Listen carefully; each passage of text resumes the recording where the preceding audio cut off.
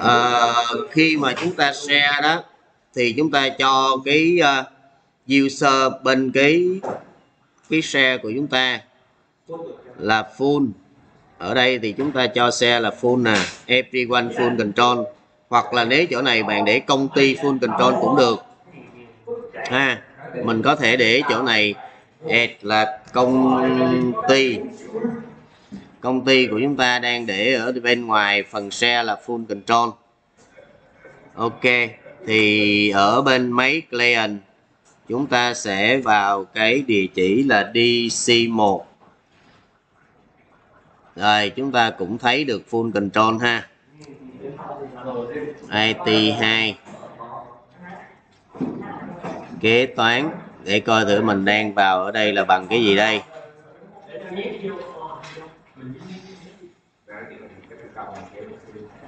Rồi nhân sự 2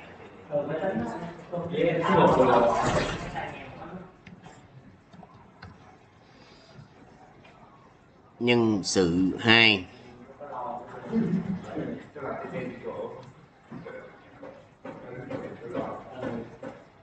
xịt xịt 192.168.100.2 công ty nhân sự vào nhân sự một. New folder không được. Mình vào nhân sự 2 new folder rồi mình qua bên này mình phân công lại. Ví dụ như là tại vì nhân sự 2 hồi nãy bên kia mình chưa có phân. Nhân sự 2 bảo mật. Mình đang để là công ty advent copy quyền remove công ty đi. Mình sẽ thêm vô đây. Là nhân sự 2 ok. Bạn nhân sự 2 này mình cho full quyền. Apply. Ok.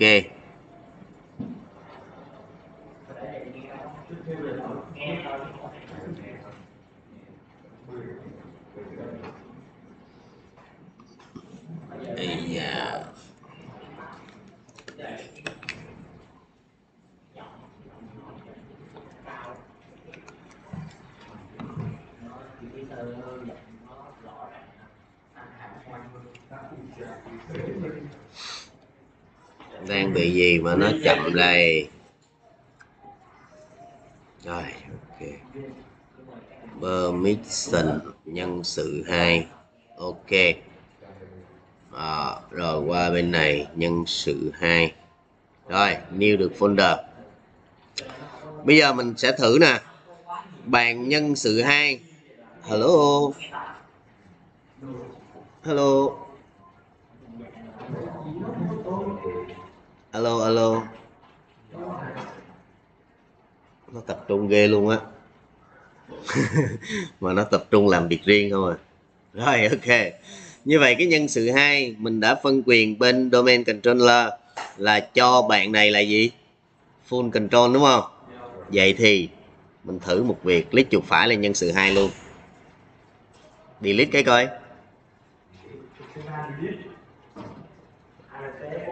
Vậy sao? Bởi vì phân công người ta full control mà. Vậy được không?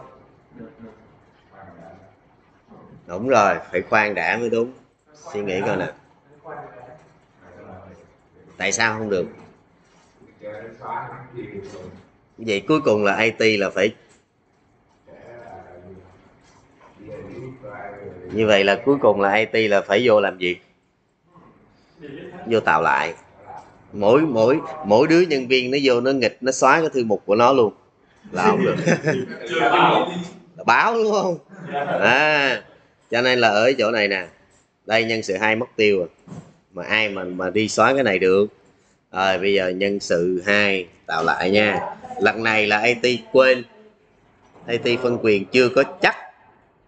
Rồi, vô đây phân quyền lại nè, nhìn nha đối với lại nhân, cái này là mình mới tạo lại, cho nên là nó vẫn có từ, kế thừa từ cha.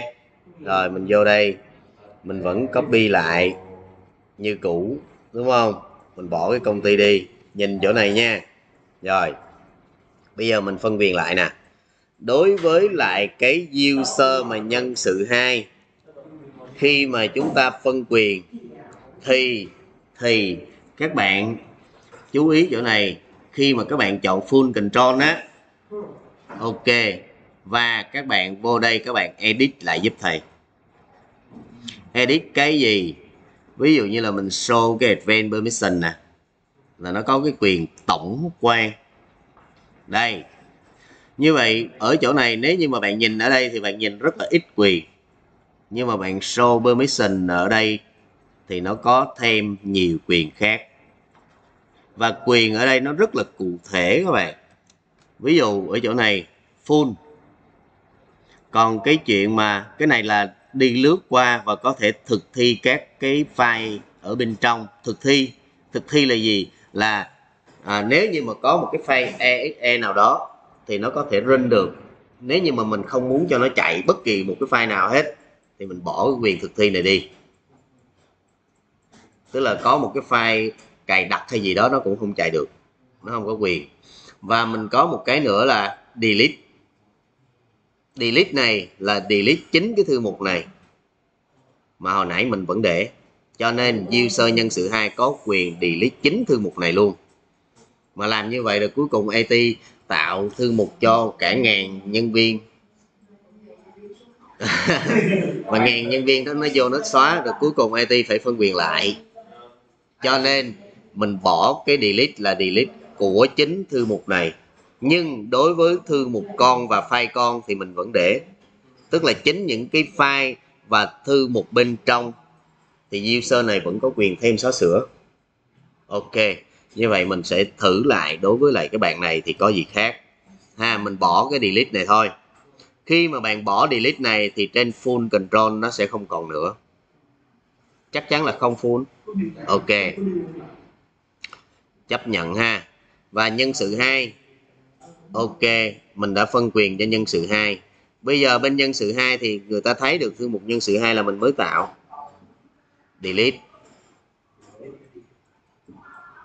Yes, không được. Nhưng người ta vào bên trong. Người ta nêu. Được. Người ta xóa. Được. Ổn ha như vậy lúc mà bạn phân quyền, bạn phải detail vô một tí xíu nữa, chứ không phải như như cũ. Như vậy quay trở ngược lại, nhân sự một mình đã phân quyền xong và nhân sự một có quyền xóa cái thư mục này luôn. Ha, thì mình quay trở lại ở bên nhân sự một, mình edit một cái. Property, security advanced và lúc nãy, đối với lại cái công ty. Công ty này là mình đang, mình lúc nãy là mình chưa có phân quyền, phải không? Mình vô đây tương tự như vậy. Remove đi và add cái thẳng. Nhân sự một, kiểm tra. Ok. Và chọn, cứ chọn phone đi. Sau đó mình chọn là show advanced permission và bỏ cái delete này đi. Chịu khó một tí. Ha, như vậy thì lúc này mình làm như vậy nó sẽ an toàn cho AT ha đó là an toàn cho AT à chứ nhiều khi mà cái bạn nhân sự một này bạn vui vui bạn vô bạn làm gì? Bạn xóa thư mục là mình mất công lắm.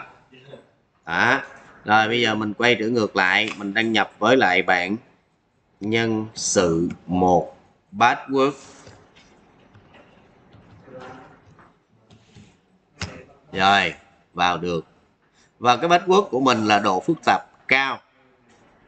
Tí nữa thầy sẽ chỉ cho các bạn vô sửa lại cái độ phức tạp của công ty 192.168.100.2 và cái vấn đề này nữa nè, bây giờ mỗi nhân viên, mỗi ngày người ta đi làm mà người ta cứ vô người ta gõ vậy, ổn không? Được không? Rồi chỗ này nhân sự 2 nhân sự một người ta vô người ta thấy nhân sự một. Người ta new được folder. Người ta có thể delete tất cả những folder ở bên trong. Yes. Và quay trở ra người ta delete chính thư mục của người ta. Không được. Ổn ha? Rồi như vậy đó là phân quyền. Và mình nói đến cái việc là đối với lại user lúc nãy mình làm cái gì nào? À, đặt password dài quá bây giờ mình sẽ set policy. Policy. Để mình thiết lập lại cho cái công ty này làm sao mà password ngắn thôi. Để cho dễ thấy. Dễ thấy ha. Dễ à, dễ theo dõi, dễ test. Chứ nếu mà password dài quá thì không ổn. Vậy thì các bạn sẽ vào stack nè. Vào cái window admin tool thì nó sẽ có một cái ở dưới này, các bạn sẽ chú ý nó có hai mục. Một là các bạn sẽ có group policy. Và cái thứ hai là local security policy. Chỗ này nó có hai mục các bạn. Đây, group policy. Và một cái là local. Và khi mà các bạn, nếu như server của các bạn mà chưa nâng cấp lên domain, chưa nâng cấp lên domain nhé bạn cài Windows Server mà bạn chưa nâng cấp lên domain, thì bản thân cái máy server đó đó, nó giống như những máy khác. Nó là ngang hàng. Nó nó chưa cung cấp dịch vụ gì hết, thì nó giống như những máy khác thôi. Và lúc này cái local security policy này, nó còn xài được còn bây giờ mình đã nâng cấp lên rồi thì nó trở thành cái máy quản trị vùng. Là domain controller, là DC á, là máy quản trị vùng. Thì cái local security policy nó bị khóa lại. Tại vì chức năng bây giờ của nó lớn hơn. Nó không làm cho chính nó nữa. Mà nó làm cho cái vai trò là quản trị vùng.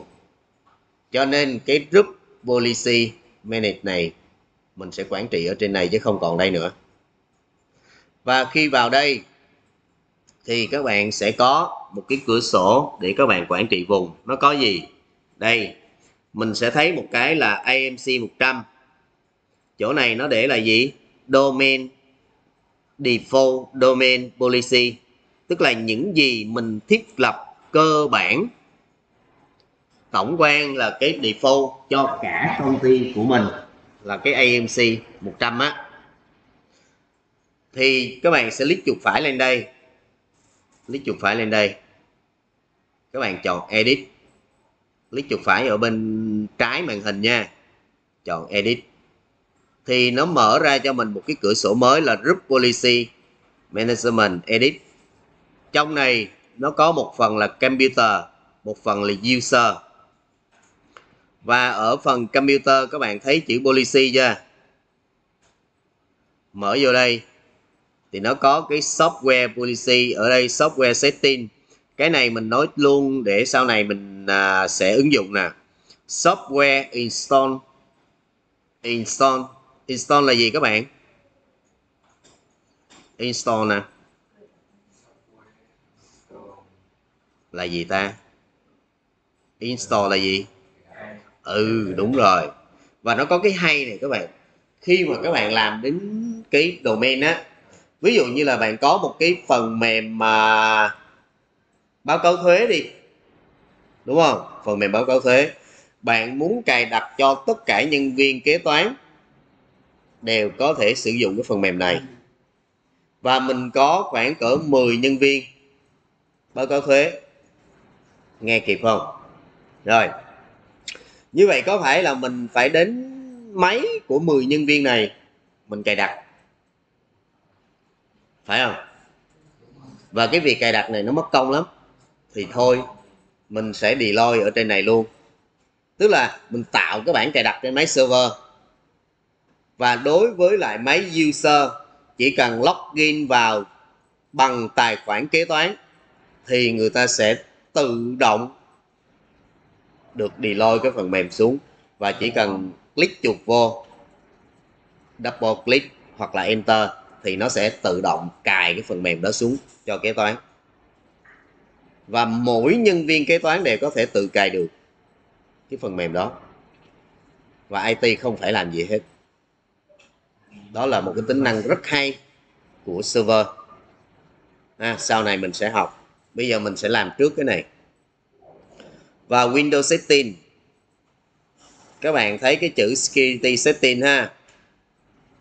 Cái này nó hơi nhiều nhé nó nó không khó các bạn, nó không hề khó. Nhưng mà nó nhiều bước quá, thì mình chịu khó mình làm, nó quen tay thôi.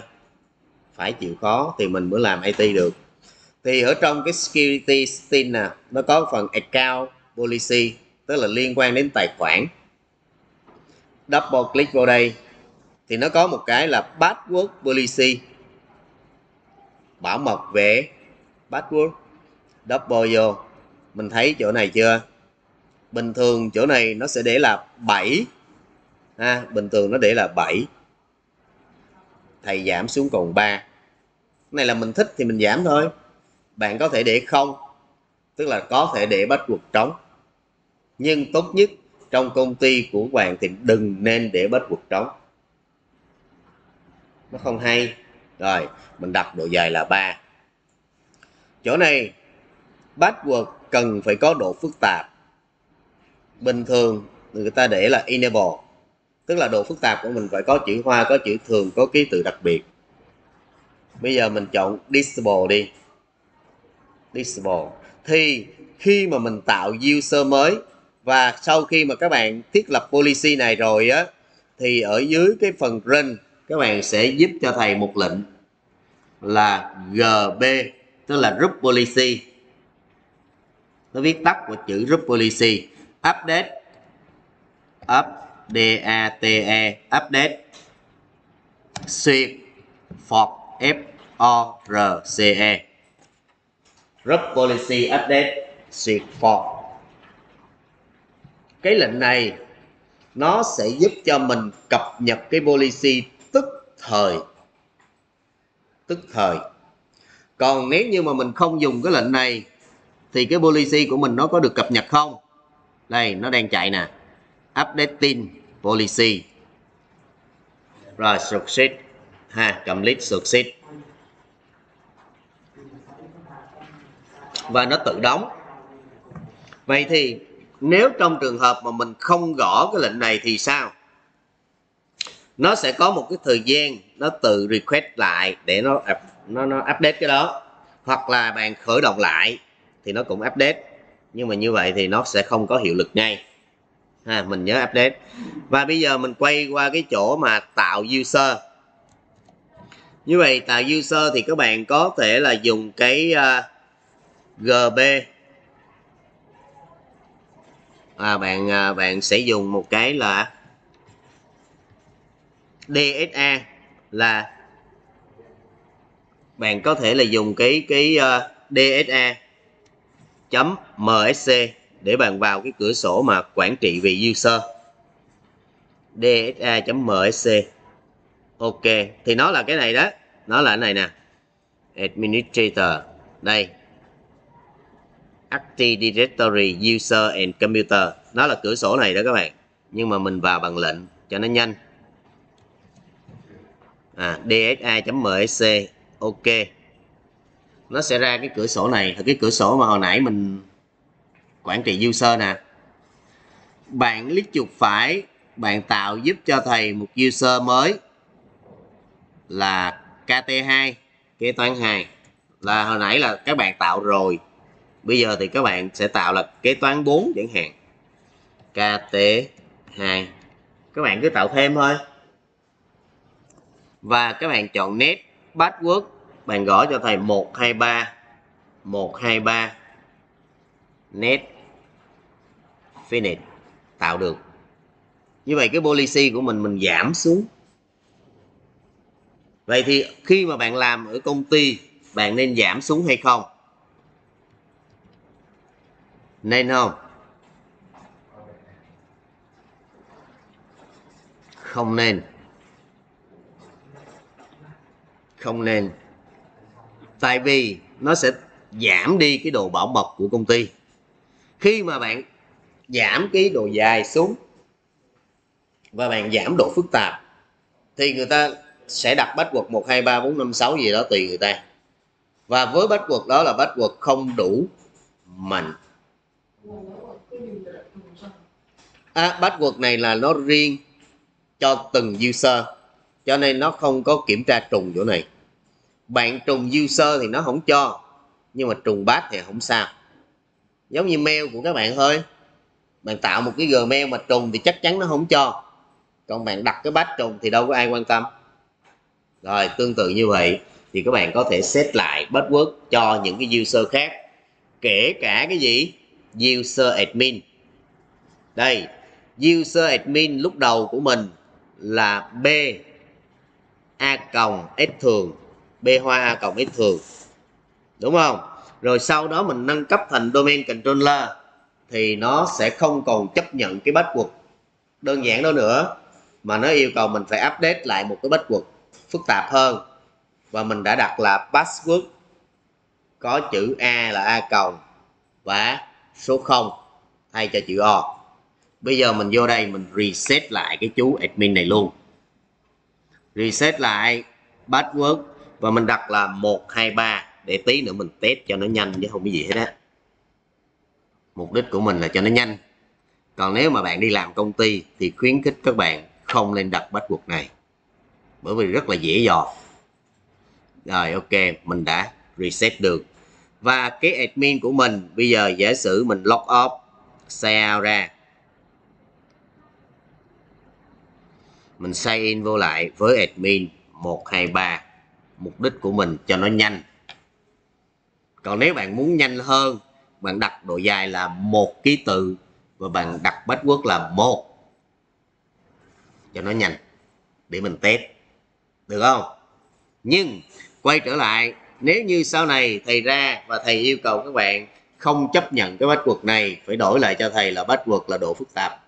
Có và độ dài là 4 thì các bạn cũng biết đường, các bạn vô lại được chưa đó như vậy thì chúng ta sẽ quan tâm đến group policy.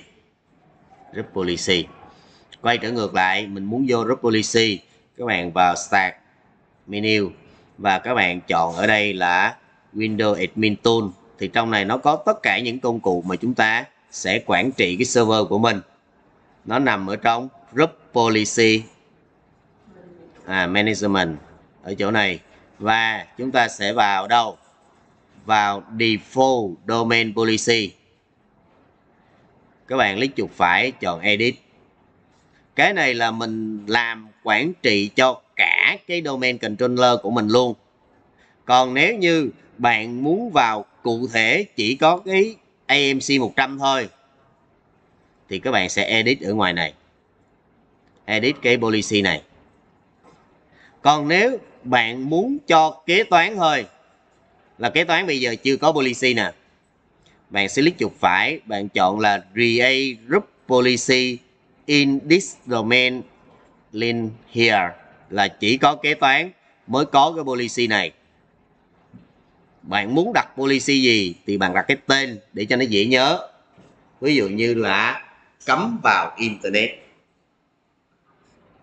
Thì khi mà user nào là kế toán thì log in vào mạng là cấm luôn ví dụ như vậy. Hoặc là uh, bạn sẽ cấm thực thi một cái file nào đó. Hoặc là bạn vẫn vào được internet vẫn ra được. Nhưng mà cấm gửi mail cấm gửi file.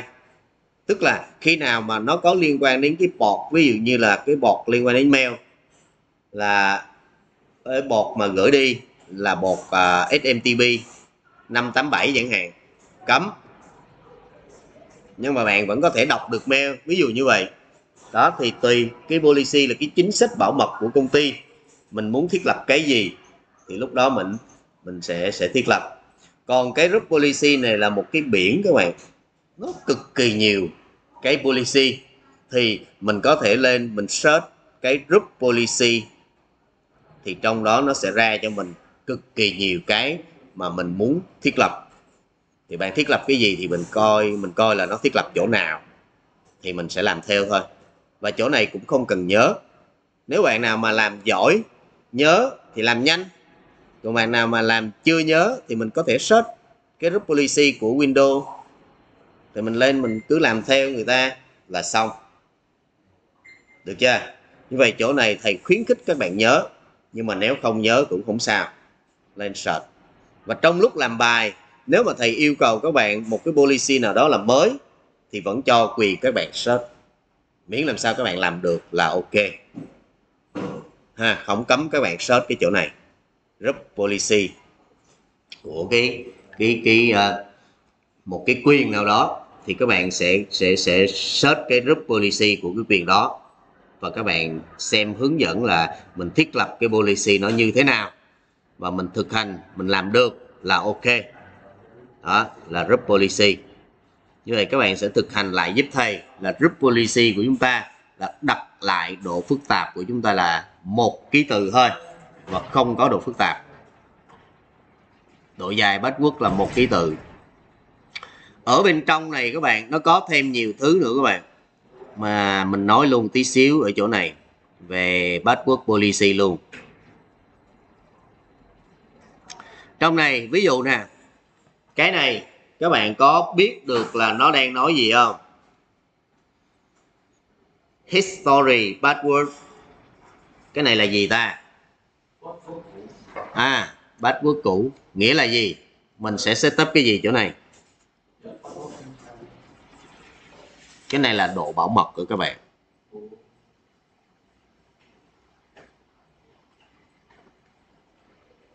Nếu như mà mình đặt cái này là 24 thì, ví dụ bây giờ thầy đặt password của cái user nhân sự một của mình là 123 tí nữa mình đổi thì chắc chắn là 345 hoặc 456 gì đó. Và mình đổi lần kế tiếp, mình đổi lần kế tiếp, mình đổi 123 nó không cho mình phải đổi một cái password nào đó mà cách đây 24 lần thì mới được trùng lại. được chưa?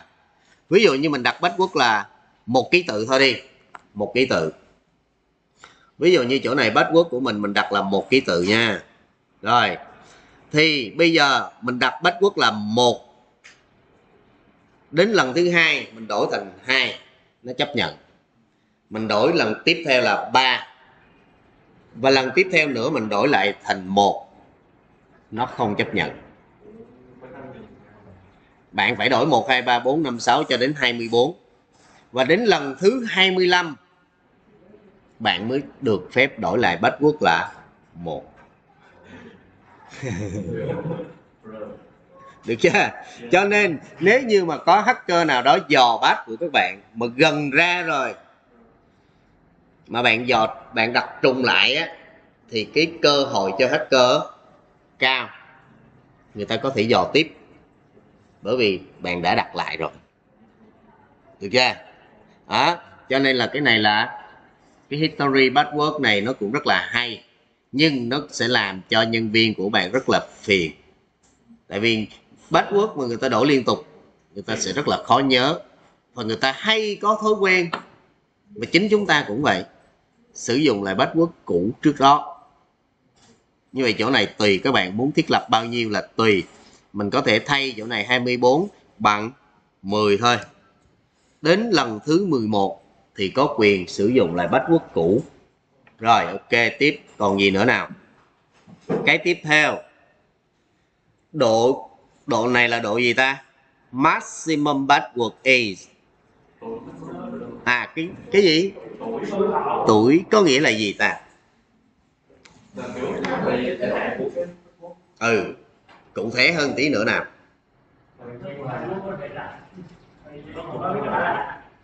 Gần ra rồi. Thời gian để duy trì cho password này.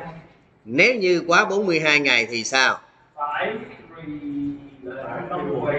Ừ đó đúng rồi các bạn hay quá. Tức là độ tuổi của cái password mà chúng ta đổi là số 1 á thì nó chỉ có khả năng tồn tại trong 42 ngày đến ngày thứ 43 muốn hay không muốn nó cũng yêu cầu bắt các bạn đổi. Và nó tự động yêu cầu các bạn đổi. Không đổi thì không vào được hệ thống. Được chưa? Đó, thì cái này cũng làm gì? Tránh trường hợp là nhân viên lười đổi bát bởi vì bạn duy trì cái bát đó càng lâu thì nguy cơ mất bát quật càng cao. Nếu như công ty bình thường thì người ta có thể set cái độ phức tạp là 42 á à, cái thời gian tuổi thọ là 42 còn nếu mà công ty của bạn mà lớn, nguy cơ bị tấn công cao thì đổi bát liên tục. Khoảng cỡ 14 ngày là bạn đổi một lần. 14 ngày là đổi lần. Tùy các bạn nhé. Thì bạn xem thử là cái policy của công ty mình nó làm sao. Nếu mà bạn để 42 thì nguy cơ mất bát. Vậy bạn đổi lại 10 thôi. Nói như thầy Bình thôi, mình vô công ty mình cứ set lại 10 là nhân viên nó chửi á. Cứ mới 10 ngày là đổi bát 10 ngày đổi bát là nó chửi á. Được chưa? Rồi, tiếp. Đó là độ dài maximum vậy thì cái này là gì? Nghĩa là sao? Dịch thì rất là dễ, nhưng mà để hiểu nó là sao nào? Hưng, phát biểu thầy coi. Theo em, minimum. Từ từ, để để để để cho hưng nói cái coi. Để cho hưng nó tỉnh cái chứ. Sao nào? À một ngày mình phải đổi một lần. Thấp nhất mà mình cần thay đổi. Tức là cái khoảng thời gian duy trì thấp nhất của nó là một ngày. Là cái chưa rõ lắm. Đúng rồi nghe thì có vẻ dịch rất là dễ nhưng mà để hiểu được nó làm cái gì.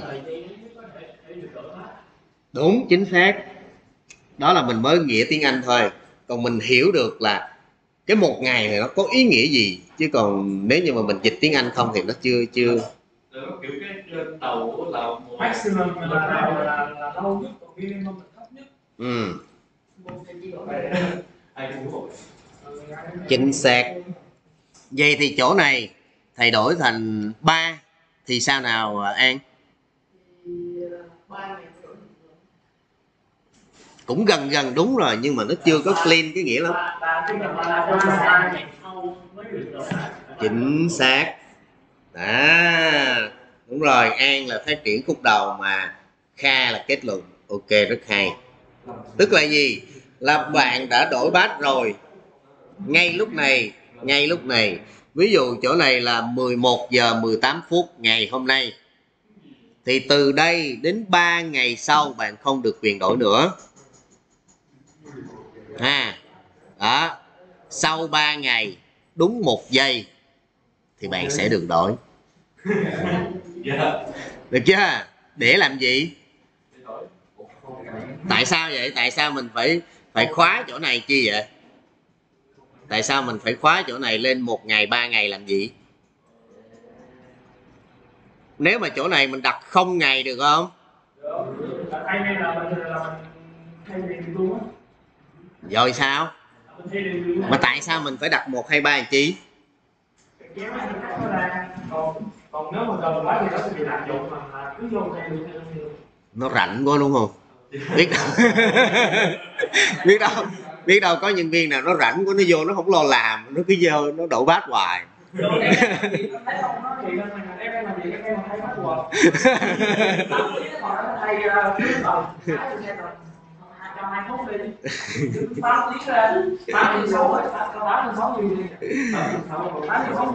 rảnh quá ha đúng không lúc đó thì mình sẽ tăng cái này lên.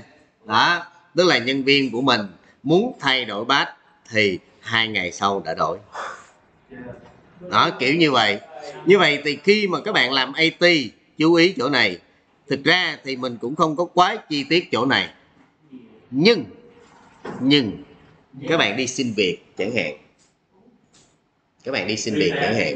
Giả sử như trong cái bài test người ta có hỏi đến cây này.